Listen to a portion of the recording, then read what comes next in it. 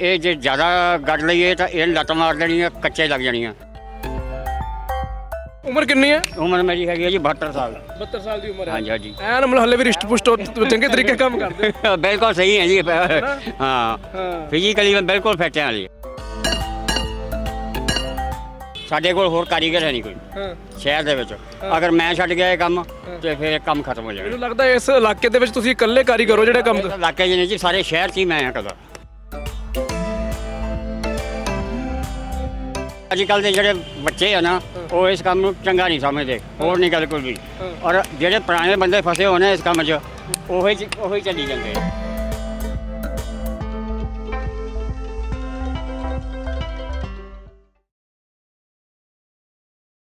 ਸਤਿ ਸ਼੍ਰੀ ਅਕਾਲ ਜੀ ਤੁਸੀਂ ਦੇਖ ਰਹੇ ਹੋ ਪੰਜਾਬੀ ਨੈਸ਼ਨਲ ਟੀਵੀ ਮੈਂ ਦਵਿੰਦਰ ਮੰਡ।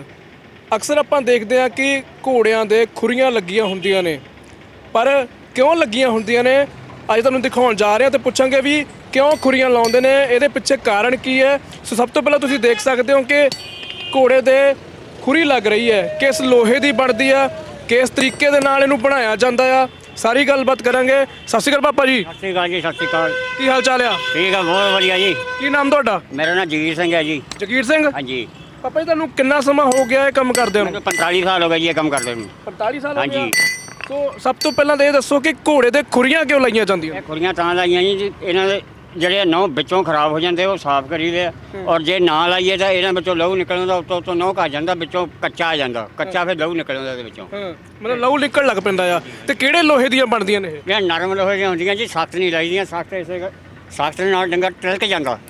ਤੇ ਇਹ ਜਿਹੜੀ ਨਰਮ ਹੁੰਦੀਆਂ ਇਹ ਖੁਰੀਆਂ ਘਾਟਦੀਆਂ ਇਹਨਾਂ ਡੰਗਰ ਟਿਲਕਦਾ ਨਹੀਂ। ਆ ਜਿਹੜਾ ਤੁਸੀਂ ਕਿੱਲ ਲਾ ਰਹੇ ਹੋ ਕਿੰਨੇ ਇੰਚੀ ਹੈ ਇਹ? 2 1.5 ਇੰਚੀ ਹੈ ਜੀ। ਇਹ 1.5 ਇੰਚੀ ਦਾ ਕਿੱਲ ਹਾਂਜੀ। ਤੇ ਇਹ ਘੋੜੇ ਦੇ ਨੌ ਤੱਕ ਰਹਿੰਦਾ ਜਾਂ ਅੰਦਰ ਵੀ ਹੁੰਦਾ? ਨਹੀਂ ਇਹ ਸਾਨੂੰ ਤਜਰਬਾ ਹੁੰਦਾ ਜੀ ਕਿੰਨਾ ਕਿੰਨਾ ਕਿਹੜਾ ਨੌ ਬਕਾਇਆ ਹੈ ਤੇ ਕਿੰਨਾ ਕਿੱਥੇ ਕੱਚਾ ਹੈ। ਉਹ ਹਿਸਾਬ ਨਾਲ ਲਾਈ ਦੀਆਂ ਵੀ ਇਹ ਜੇ ਜ਼ਿਆਦਾ ਗੱਡ ਲਈਏ ਤਾਂ ਇਹ ਲੱਤ ਮਾਰ ਦੇਣੀਆਂ ਕੱਚੇ ਲੱਗ ਜਾਣੀਆਂ। ਜੇ ਥੋੜਾ ਜਿਹਾ ਲਾਗੇ ਲਾਈਏ ਉਹਦੇ ਵਿੱਚ ਇਹ ਹੁੰਦਾ ਵੀ ਖੋਰੀ ਡਿੱਗ ਪੈਂਦੀ ਹੈ ਅਹ, ਢਿੱਲੀ ਹੋ ਗਈ। ਇੱਕ ਢੰਗ ਨਾਲ ਲਾਉਣੀ ਪੈਂਦੀ ਹੈ। ਤੇ ਪਾਪਾ ਜੀ ਗੱਲ ਕਰੀਏ ਇਸ ਕੰਮ ਦੀ ਅੱਜ ਕੱਲ ਇਦਾਂ ਦੇ ਜਿਹੜੇ ਕੰਮ ਨੇ ਅਲੋਪ ਹੁੰਦੇ ਜਾ ਰਹੇ ਨੇ ਕੋਈ ਕੰਮ ਕਰਕੇ ਰਾਜੀ ਨਹੀਂ ਇਹ ਵਾਲਾ। ਕੀ ਕਹਿਣਾ ਚਾਹੋਗੇ? ਇਹ ਇਦਾਂ ਹੈ ਜੀ ਅੱਜ ਕੱਲ ਦੇ ਜਿਹੜੇ ਬੱਚੇ ਆ ਨਾ ਉਹ ਇਸ ਕੰਮ ਨੂੰ ਚੰਗਾ ਨਹੀਂ ਸਮਝਦੇ ਹੋਰ ਨਹੀਂ ਗੱਲ ਕੋਈ ਵੀ। ਔਰ ਜਿਹੜੇ ਪੁਰਾਣੇ ਬੰਦੇ ਫਸੇ ਨੇ ਇਸ ਕੰਮ 'ਚ ਉਹੀ ਉਹੀ ਚੱਲੀ ਜਾਂਦੇ ਆ। ਹੁਣ ਪਾਪਾ ਜਿੱਦਾਂ ਜਿਹੜੀ ਆ ਤੁਸੀਂ ਲਾਈ ਖੁਰੀ ਲਾਈ ਆ ਆ ਮੇਖ ਜਿਹੜੀ ਬਾਹਰ ਆ ਗਈ ਆ। ਤੇ ਇਹ ਹੁਣ ਵੱਢੀ ਜਾਊਗੀ? ਇਹ ਵੱਢ ਕੇ ਜੇ ਇਧਰ ਨਾਲ ਮੋੜ ਦੇਣੀਆਂ ਇਹਦੇ ਨਾਲ ਸਪੋਰਟ ਹੋ ਜਾਣੀ ਵੀ ਡਿੱਗੇ ਨਾ। ਤੇ ਘੋੜੇ ਨੂੰ ਦਰਦ ਵਗੈਰਾ ਤਾਂ ਨਹੀਂ ਹੁੰਦਾ ਨਹੀਂ ਜਿੱਥੇ ਜੇ ਅਸੀਂ ਕੱਚੇ ਲਾਵਾਂਗੇ ਨਾ ਵਿੱਚ ਕੱਚੇ ਲੱਗ ਗਈ ਅਣਜਾਣ ਬੰਦੇ ਤੋਂ ਫੇਰ ਇਹ ਦਰਦ ਮੰਨੂਗਾ ਤੇ ਨਾਲੇ ਲੱਤ ਮਾਰੂਗਾ ਮੂੰਹ ਭੰਨ ਦਊਗਾ। ਤੇ ਪਰਿਵਾਰ ਵਿੱਚ ਕੌਣ ਕੌਣ ਤੁਹਾਡੇ? ਪਰਿਵਾਰ ਦੇ ਵਿੱਚ ਮੈਂ ਇਕੱਲਾ ਹੀ ਆ ਜੀ ਅਸਲੇ ਬਾਕੀ ਪਰਿਵਾਰ? ਬਾਕੀ ਪਰਿਵਾਰ ਮੇਰਾ ਜੀ ਘਰ ਦੀ ਮੇਰੀ ਹੈ ਨਹੀਂ ਗੀ ਤੇ ਬੱਚੇ ਮੇਰੇ ਨੌ ਪੁੱਤ ਕੈਨੇਡਾ ਗਏ ਆ। ਅੱਛਾ ਕੈਨੇਡਾ ਗਏ ਆ? ਤੇ ਤੁਸੀਂ ਜੇ ਨੌ ਪੁੱਤ ਕੈਨੇਡਾ ਗਏ ਤੇ ਤੁਸੀਂ ਇਹ ਕੰਮ ਕਾਹਤੋਂ ਕਰਦੇ ਪਏ ਹੋ? ਦੇਖੋ ਜੀ ਮੇਰਾ ਇੱਥੇ ਨਾਲੇ ਟਾਈਮ ਪਾਸ ਹੋ ਜਾਂਦਾ ਨਾਲੇ ਮੇਰੀ ਦਿਹਾੜੀ ਸੋਹਣੀ ਬਣ ਜਾਂਦੀ ਹੈ ਇਸ ਕਰਕੇ ਮੈਂ ਇਹ ਕੰਮ ਕਰਦਾ ਨਾਲੇ ਇਹਦੇ ਸਾਡੇ ਕੋਲ ਹੋਰ ਕਾਰੀਗਰ ਹੈ ਨਹੀਂ ਕੋਈ। ਹਾਂ। ਸ਼ਹਿਰ ਦੇ ਵਿੱਚ। ਅਗਰ ਮੈਂ ਛੱਡ ਗਿਆ ਇਹ ਕੰਮ ਤੇ ਫਿਰ ਇਹ ਕੰਮ ਖਤਮ ਹੋ ਜਾਣਾ ਮੈਨੂੰ ਲੱਗਦਾ ਇਸ ਇਲਾਕੇ ਦੇ ਵਿੱਚ ਤੁਸੀਂ ਇਕੱਲੇ ਕਾਰੀਗਰ ਹੋ ਜਿਹੜੇ ਕੰਮ ਇਲਾਕੇ ਨਹੀਂ ਜੀ ਸਾਰੇ ਸ਼ਹਿਰ 'ਚ ਹੀ ਮੈਂ ਹਾਂ ਕਦਾ ਪੂਰੇ ਜਲੰਧਰ ਸ਼ਹਿਰ ਦੇ ਵਿੱਚ? ਜਲੰਧਰ ਸ਼ਹਿਰ 'ਚ ਮੈਂ, ਆਲੇ ਦੁਆਲੇ ਪਿੰਡਾਂ 'ਚ ਵੀ ਕੋਈ ਨਹੀਂਗਾ ਅੱਛਾ। ਹਾਂ। ਸਭ ਤੋਂ ਪੁਰਾਣੇ ਕਾਰੀਗਰ ਮਤਲਬ ਤੁਸੀਂ ਇਸ ਏਰੀਆ ਦੇ ਵਿੱਚ ਤੁਸੀਂ ਹੋ? ਜਦ ਮੈਂ ਇਹ ਕੰਮ ਸ਼ੁਰੂ ਕੀਤਾ ਸੀ ਉਹਨਾਂ ਅਸੀਂ ਪੰਜ ਬੰਦੇ ਸੀ ਜਿਨ੍ਹਾਂ ਵਿੱਚੋਂ ਹੌਲੀ ਹੌਲੀ ਕਰਕੇ ਚਾਰ ਚੱਲ ਗਏ ਮੈਂ ਇਕੱਲਾ ਹੀ ਰਹਿ ਗਿਆ। ਹੂੰ, ਉਮਰ ਕਿੰਨੀ ਹੈ? ਉਮਰ ਮੇਰੀ ਹੈਗੀ ਹੈ ਜੀ 72 ਸਾਲ। 72 ਸਾਲ ਦੀ ਉਮਰ ਹਾਂਜੀ ਹਾਂਜੀ। ਐਨ ਮਤਲਬ ਹੱਲੇ ਵੀ ਰਿਸ਼ਟ ਪੁਸ਼ਟ ਹੋ- ਚੰਗੇ ਤਰੀਕੇ ਕੰਮ ਕਰਦੇ। ਬਿਲਕੁਲ ਸਹੀ ਹੈ ਜੀ। ਹਾਂ। ਹਾਂ। ਫਿਜ਼ੀਕਲੀ ਮੈਂ ਬਿਲਕੁਲ ਫਿੱਟ ਹਾਂ ਜੀ। ਹਾਂ ਫਿਜ਼ੀਕਲੀ ਵੀ ਫਿੱਟ ਹੋ। ਤੇ ਬਾਬਾ ਜੀ ਜੇ ਗੱਲ ਕਰੀਏ ਕਿ ਘੋੜੇ ਦੀ ਖੁਰੀ ਨੂੰ ਨਾ ਕਈ ਵਾਰੀ ਜਦੋਂ ਪੁਰਾਣੀ ਹੋ ਜਾਂਦੀ ਲਾ ਲੈਂਦੇ ਆ ਘਰ ਲਾ ਲੈਂਦੇ ਆ ਜਾਂ ਦੁਕਾਨ ਦੇ ਬਾਹਰ ਲਾ ਲੈਂਦੇ ਆ ਇਹ ਵਹਿਮ ਭਰਮ ਹੈ ਜਾਂ ਸੱਚੀ ਚੰਗੀ ਹੁੰਦੀ ਆ ਨਹੀਂ ਜੀ ਮੇਰੇ ਕੋਲ ਬਹੁਤ ਦੁਨੀਆ ਆਉਂਦੀ ਆ ਇਹ ਇਦਾਂ ਆ ਵੀ ਬਹੁਤ ਲੋਕਾਂ ਨੂੰ ਤਾਂ ਆਰਾਮ ਆ ਜਾਂਦਾ ਜਿਹੜੇ ਕਹਿੰਦੇ ਸਾਨੂੰ ਦਵਾਈ ਨਹੀਂ ਲੱਗਦੀ ਜਾਂ ਸਾਡੇ ਘਰ 'ਚ ਬਰਕਤ ਹੈ ਨਹੀਂ ਜਾਂ ਕਈ ਕਹਿੰਦੇ ਸਾਡੇ ਬੱਚੇ ਨਹੀਂ ਵੱਜਦੇ ਕੋਈ ਕਹਿੰਦੇ ਸਾਡਾ ਬੱਚੇ ਦਾ ਸੰਜੋਗ ਨਹੀਂ ਨਿਕਲਦਾ ਕਈਆਂ ਦਾ ਆਰਾਮ ਆ ਜਾਂਦਾ ਉਹਨਾਂ ਨੂੰ ਫ਼ਰਕ ਪੈ ਜਾਂਦਾ।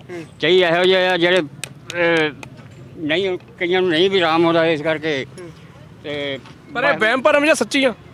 ਮੇਰੇ ਹਿਸਾਬ ਨਾਲ ਸੱਚੀ ਆ ਜੀ ਇਹ। ਕਿਉਂ ਐਵੇਂ ਲੋਕ ਨਹੀਂ ਹੁੰਦੇ ਮੇਰੇ ਕੋਲ ਪੰਡਤ ਭੇਜਦੇ ਮੇਰੇ ਕੋਲ ਮੁਸਲਮਾਨ ਫਕੀਰ ਭੇਜਦੇ ਆ ਉਹ ਐਵੇਂ ਨਹੀਂ ਭੇਜਦੇ ਕੋਈ ਗੱਲਬਾਤ ਹੈਗੀ ਚੱਲ ਆ।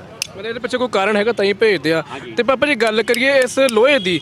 ਇਹ ਲੋਹੇ ਨੂੰ ਕਿਸ ਤਰੀਕੇ ਦੇ ਨਾਲ ਢਾਲੇ ਜਾਂਦੇ ਕਿਸ ਤਰ੍ਹਾਂ ਬਣਾਉਂਦੇ ਹੋ? ਸਰੀਆ ਹੁੰਦਾ ਜੀ ਸਰੀਏ ਦੇ ਵਿੱਚ ਨਾ ਇਹਨੂੰ ਗਰਮ ਕਰਕੇ ਡਾਈ ਲੱਗੀ ਹੁੰਦੀ ਉਹਦੇ ਨਾਲ ਇਦਾਂ ਗੋਲ ਕਰ ਦਿੰਦੇ ਆ। ਉਹ ਡਾਈ ਲੱਗੀ ਇਹਨਾਂ ਗੋਲ ਕਰ ਬਣੀ ਬਣਾਈ ਲਿਆਉਂਦੇ ਜੋ ਆਪ ਬਣਾਉਂਦੇ ਹੋ? ਅੱਗੇ ਆ ਬਣਾਉਂਦੇ ਸੀ ਹੁਣ ਮੇਰੇ ਨਾਲ ਸਾਥ ਹੈ ਨਹੀਂ ਕੋਈ ਵੀ ਸਾਡੇ ਪਿਤਾ ਜੀ ਵੀ ਹੈ ਨਹੀਂ ਅੱਗੇ ਉਹਨਾਂ ਦੇ ਨਾਲ ਮੈਂ ਬਣਾਉਂਦਾ ਸੀ।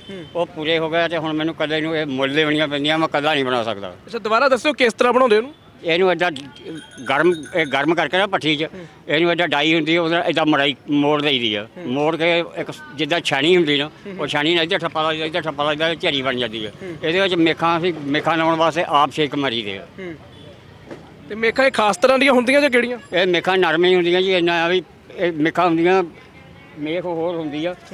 ਆਹ ਮੇਖ ਹੁੰਦੀ ਹੈ ਦੂਜੀ ਮੇਖ ਨਹੀਂ ਹੁੰਦੀ ਚੌਰਸ ਸਾਈਡ ਹੁੰਦਾ।